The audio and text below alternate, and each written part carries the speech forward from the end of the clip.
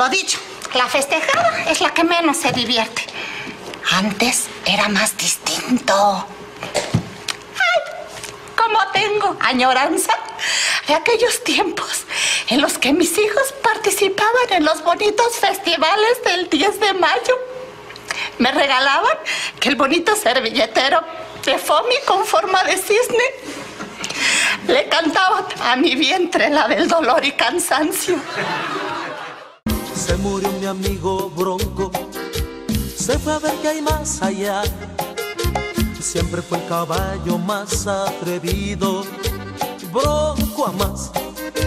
Se rompieron sus tobillos, yo lo tuve que acabar. Mientras le decía despacito, nos vamos a encontrar.